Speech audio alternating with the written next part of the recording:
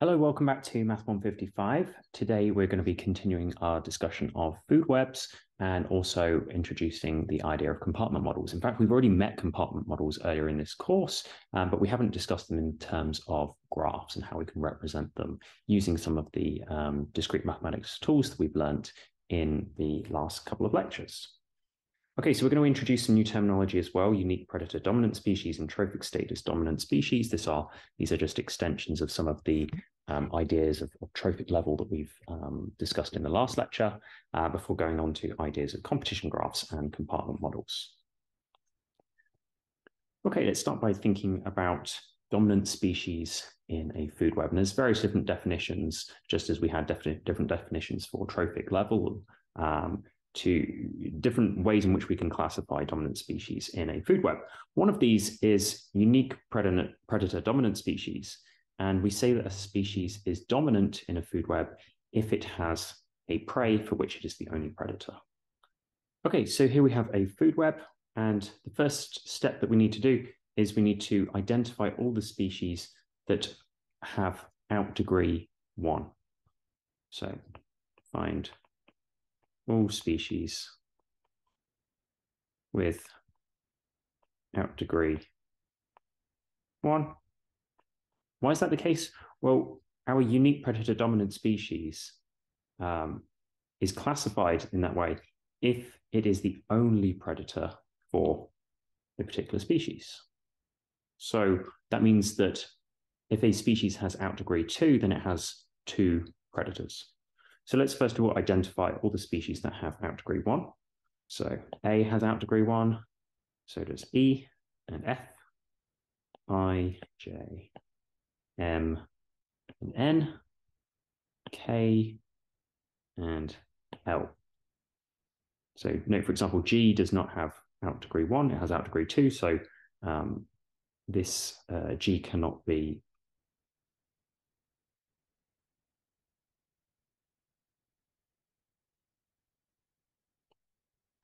Note, for example, that uh, G has out degree two, so it cannot be, uh, its, its predators cannot be classified as unique predator dominant species. So I found all the species with out degree one. Now I need to look at what eats those species. So for species A, it's eaten by species D. A is actually a primary producer, so we're not going to classify um, D as a uh, unique predator dominant species because it's actually going to be a herbivore. There's also this complication here that it, that it eats itself. So um, we're not going to classify D as a unique predator dominant species because it eats a primary producer. Um, let's see. For species F, this is eaten by species E. That's fine. So E is a unique predator dominant species. Uh, let's work our way through all of the other pink vertices. I'm going to cross off the ones that are not relevant. Okay, so species I gets eaten by species M. So this is a unique predator dominant species, species M. Uh, species J eats species E. So it's one up from that. So this is also unique predator dominant, as is N because it eats J. O is unique predator dominant because it's the only predator of M. It's also the only predator of N. We see that M is also the only predator of K, but we've already counted M because it was also the only predator of I. And O is the only predator of L as well, so we don't count L either. So here, our unique predator dominant species, so we find predators um, coming out from those species in one. That's the method that we use. So in our case here, our unique predator dominant species are going to be E, J, M, N, and O. Okay, the other definition that we're going to look at for dominant species is something called trophic status dominant species. And here we say that a species is dominant if its trophic status, which we calculated last time, uh, its trophic status is greater than the number of species in the food web above level zero. So remember, level zero is going to be our primary producers. In this case, this is A, B, and C. They have trophic status zero. So the trophic statuses are just indicated here next to each of these species.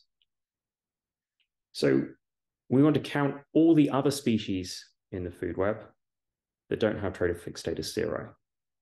Alternatively, you can count every state, every species in the food web and then subtract the number that have um, trophic status zero. So subtract all the primary producers. So here, how many do we have in this food web?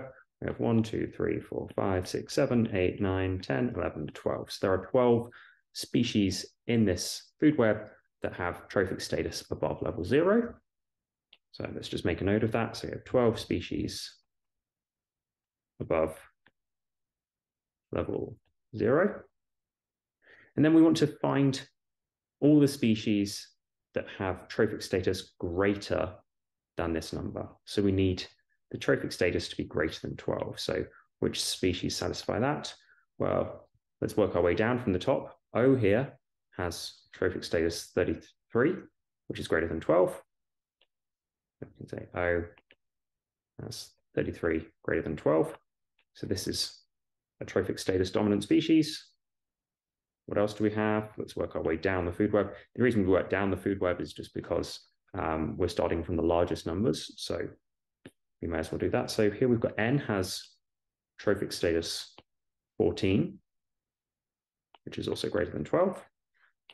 And then if we look through, the next highest number is 9 here, but 9 is less than 12. So M can't be trophic status dominant. J also has trophic status 9, which is less than 12. So our only trophic status dominant species, which I've just abbreviated there, are species O and N. Okay, let's think about another way of looking at these food webs. Um, on the left-hand side here, we've got a food web that we've seen before. On the right-hand side, we've got another representation of some of the information that we have on the left-hand side. This is called on the right-hand side a competition graph. And a competition graph is related to this food web, but rather than showing which species each, which other species in a directed graph, here we're going to have an undirected graph, which just shows competition between species. And so competition means competition for food in this context. Okay, so what we do is we draw out all the nodes, and they don't have to be um, written in the same format. Sometimes it can help to do that. Sometimes you just want to um, put them all down in a list like they are here. And we want to draw a link between any two species that share a food source. So kelp doesn't have any food sources, so it appears disconnected here. Small fishes and sea urchins, well, they both share a food source. So another way of looking at it is finding all the all the uh, species that have out degree two or more, and then looking at what they connect to. So in this case, kelp is eaten by both small fishes and sea urchins. So small fishes and sea urchins compete for kelp. So because they compete, we draw a link between them in this competition graph. Let's carry on working our way up we see that um, there is no other case where a species has out degree two. So small fishes have out degree one, so they only have one predator, which is large crabs. Sea urchins have out degree one, their only predator is sea otters. Likewise, large crabs, their only predator is sea otters. And sea otters, their only predator is sharks. So there's no other competition going on here. A mistake that people often make is that they see there are two arrows going into sea otters. And so they end up drawing a, a line between sea urchins and large crabs. But sea urchins and large crabs are not competing with each other for food. Okay, so this competition graph in this in this particular context is only describing competition between uh, species for food itself. Okay, so sea urchins and smallish fishes are connected in the competition graph because they both compete for kelp. Okay, so that's the uh, last um, little bit of this course that's about food webs, we're now going to be thinking about graphs in the context of compartment models. And we've already met compartment models. Um, we talked about this earlier in the, in the course when we say had a population that was age structured, say juveniles going into adults and adults also producing juveniles. We didn't represent these in graph format, but we can do, and that can help to understand the, the flow um, of individuals through these populations. Um, we saw on the opening page, there was an example of a disease model. So, for example, you could have flow from individuals who are susceptible to infected to recovered. That's another example of a compartment model. Here on this slide, we have something called pharmacokinetics. So that's describing um, uh, how drugs um, move through the body. So here we've got a one compartment model on the left-hand side where the drugs are absorbed. They go through some central compartments, say an organ, and then they're eliminated. On the right-hand side, maybe they have a central component, but then they're also distributed to another part of the body. So maybe they initially come into the stomach and then they end up going into the liver or, some other um, part of the body. So we can think of the flow of whether it's drugs or individuals in a population into different compartments that we might want to define.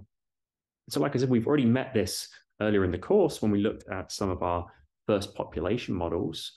So when we had our discrete population models, if you recall, we had these Leslie matrices. And these Leslie matrices told us from one year to the next or one generation to the next how uh, individuals moved between classes. And really what's this, this Leslie matrix is saying is what is the contribution from one class to the next? Okay, so when we multiplied these out, suppose we had a vector here of our cubs, our adult bears, and our elderly bears. If we called this our vector x in year n, to work out the population in year n plus one, we take this Leslie matrix and multiply it by the population in year n. Okay, so this first column and first row represent cubs, second column and row adults, third column and row elderly bears. So we can take a Leslie matrix and we can convert that into the graph that we see on the left-hand side here. So this is a directed graph, and it's a directed graph because there's flow from one class or one compartment into another. And we can take these numbers in our Leslie matrix to turn it into a weighted directed graph that shows how much each class or compartment is contributing to the compartment in the next year. So, for example, if we think about the contribution of cubs to cubs, from adults to adults, and from elderly bears to elderly bears, we have these three numbers here. What that's really saying is if we think of these three vertices, cubs, adults, and elderly bears, we have 17 over 30 is the, the contribution from cubs in one year to the next. Okay. So this is the contribution here to here. This is my 17 over 30. So this is coming from the first entry of my Leslie matrix. The second row, second column, we have 17 over 20. That's our contribution of adults to adults. And from elderly to elderly, third row, third column, we have three quarters. So the flow from here to here is three quarters. Okay, all of these uh, these numbers here, they come from these word descriptions. If you recall, we converted those into our Leslie matrix, and we're now just converting those into graph form. Okay, let's think about some other entries. I'm going to change color just to help make this a little bit clearer. Let's think about the first row. So these are the uh, contributions from each of the categories to cubs in the next year. So this 2.1 here is adult bears producing on average 2.1 cubs per year. So this is telling me what is the flow from adults to cubs. It's 2.1. So adults are producing 2.1 cubs per year on average. We also have births from these elderly bears. And here we have this 0.6. So we can add those, those uh, arrows and, and weights to this graph. Let's think about the second row switch color again. So here we have cubs sorry, we have, yeah, cubs going into adults. So this is aging. So cubs going into adults. This arrow here. We have no cubs going into elderly bears, so nothing here. We also have no um, elderly bears going into adults. So there's no E to A, and likewise, there's no C to E. Okay, let's do our final row here. So we've already said we don't have anything here. We do have um, adults aging into elderly bears. So we have an arrow going here. And we're told that a tenth of our adults mature to become elderly. We don't have arrows coming out for the uh, the bears that are dying. So we notice we have these, these facts about bears that are dying. This is taken into account um, in our Leslie matrix by things that neither stay in the same age category nor age. Okay, so here we've been able to convert the, the information in my Leslie matrix into the graph, but we can also go in the other direction. So if we have this graph here, we can convert it into a Leslie matrix by following uh, or, or, reversing the same process that I've just talked about. So I know, for example, if I wanted to translate this information in the graph into a Leslie matrix, I can think about, first of all, what is in this C going into C? Well, it's 17 over 30. What's A going into A? It's 17 over 20. What's E going into E? It's 3 over 4. And so on. So we can convert back and forth between this, uh, this graph format and the um, Leslie matrix. Uh, and that can help us to, to better understand the flow between these different compartments.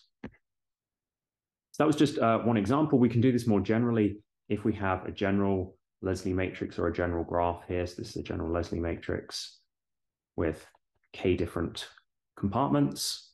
And here we've got a, the corresponding graph.